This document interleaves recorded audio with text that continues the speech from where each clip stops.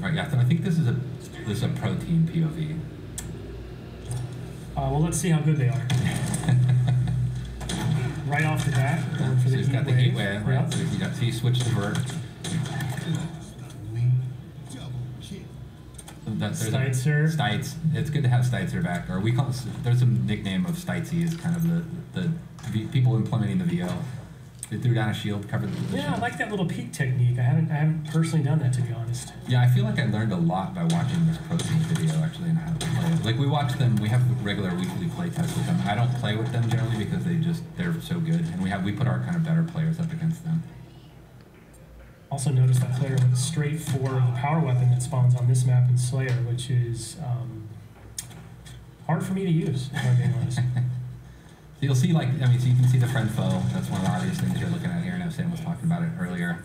This is something that we've continued to kind of iterate and evolve, even beyond this build. I think this, oh, this might be our main build right now. Um, power weapon spawns there. Skewer is uh, it's satisfying as heck, but it's it's hard for me to use. I am, I am, I am worse at that gun than I am with the commando rifle for sure. And when you hit a target, like especially a vehicle, it's super satisfying. Spectating.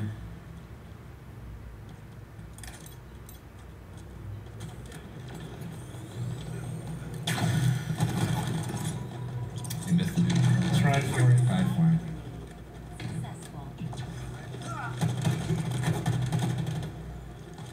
Hard for us to hear in studio, but I, I believe there you're hearing some personal AI coming through. Yeah, you're hearing there's a few things. So we there's the Spartan chatter that we had in Halo 5 really just kind of brings the battlefield, gives a lot more like reaction feedback to what's going on in the game. But you'll hear this personal AI. And what we did with them is we replaced what was called Spartan Leader, our team leader.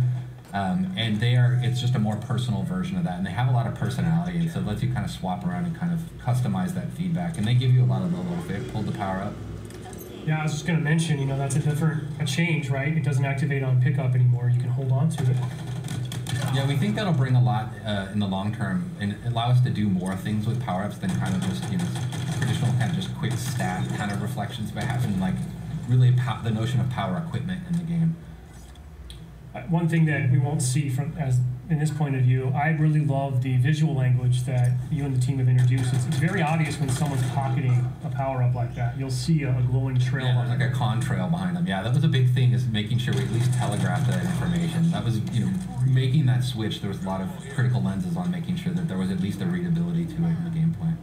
I mean, so now it's sort of that risk reward, right? Do I do I hold this and wait for that final push? Do I burn it now so I don't lose it? Yeah, you make a lot of choices that way. Like I, you know, I sometimes will pocket it and think I'm getting cocky, and then I'll lose it, and I'll give like overshell that was a dope. I'll, I'll give the OS to the, the enemy, which is you know super risky at that point.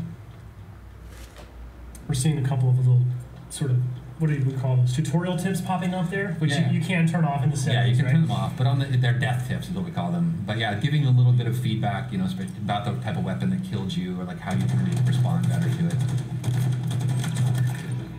I'm not sure at this point the pro team needs to needs to know that like, hey, yeah, exactly. Like, or like just opt out if you don't really care about it, if you don't need that information, or it makes you feel bad. Some people might feel.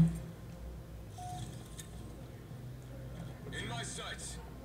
I do love this map. Yeah, the pelicans flying by. It's the you know it's an homage to Sergeant Johnson, Sergeant Avery Johnson, Academy of.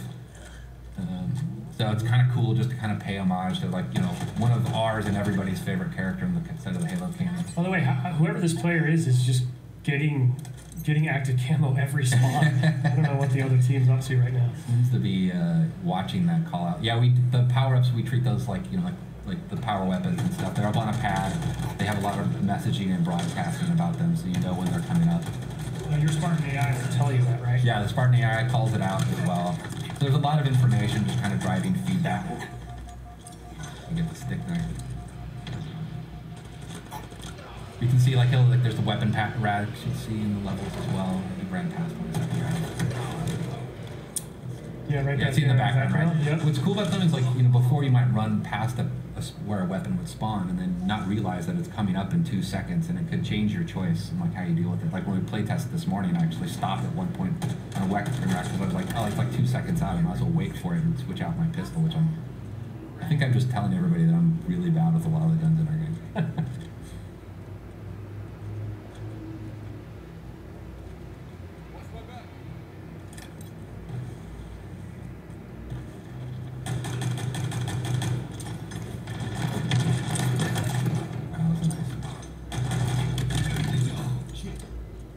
do love the sidekick. I, yeah, I, it's really cool, and like when somebody's really good with it, it's really threatening because they can just feather that thing super fast and just. This this player really likes this little like uh, drop wall kind of yeah, covering it, technique. huh? yeah, like, like kind of locking down an entryway so they can watch their back. It's neat to watch how people use these, like all the different equipments in different ways. Well, hopefully, a lot of players this weekend are going to be uh, lighting us up on social, sharing clips with us, because I, I can't wait to see just some of the new creative ways that the community at large figures out how to use this new sandbox.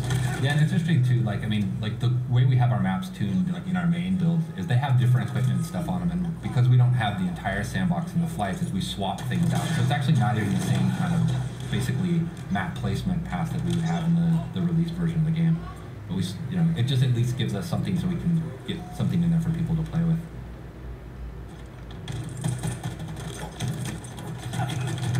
Well, match is getting close. You can hear the music starting to kick up, kind of signifying the end of the match is coming. Uh, I do I do love that the, the, multiplayer music very cool. I'm really proud of the multiplayer music. There's a, a cool story about how we got to basically getting the music in the game. Um, but it really meets this tone. It's something I've really wanted since Halo 4 this kind of post-rock soundtrack to the multiplayer. Well, actually just a Halo multiplayer game. uh, one of my goals for multiplayer.